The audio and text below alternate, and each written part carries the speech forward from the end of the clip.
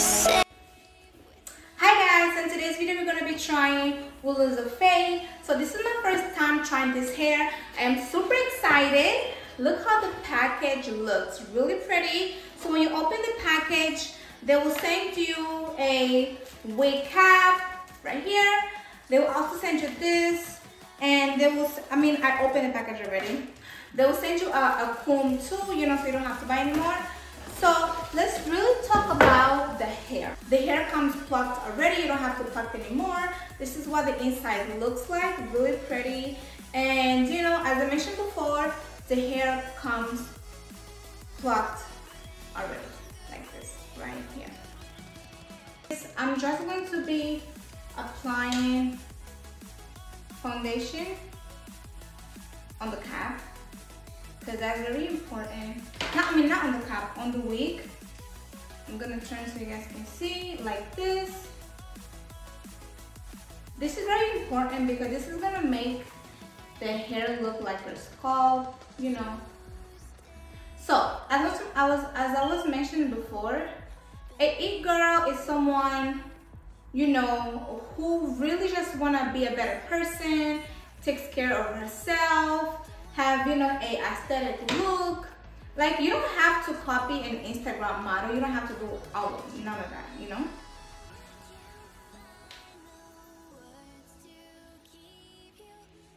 As I was mentioning before, like TikTok and Pinterest will really help you a lot in terms of like, you know, how to be that girl. Like, just have to take care of yourself. Do your skincare. Pray if you have to not if you have to pray pray is very important pray um you know have like a journal write down the things that you want to accomplish you know as a person. Um you know just take care of yourself like love yourself.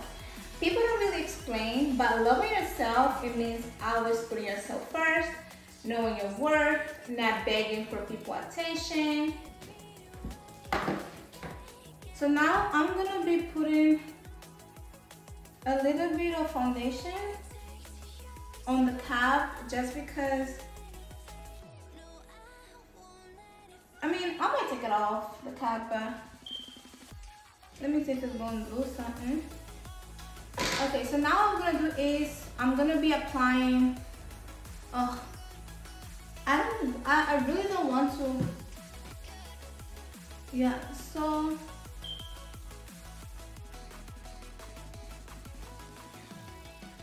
yes guys just take care of yourself you know. Know who your friends are you don't have to hang around with everybody to be honest you know. And i feel like the older you get the more you will really realize that you will like you will like to be alone when you're healing. Healing is a very weird process because it's like one moment you're crying the next moment you're okay it's just weird in general, to be honest. Do, I like to put a lot by my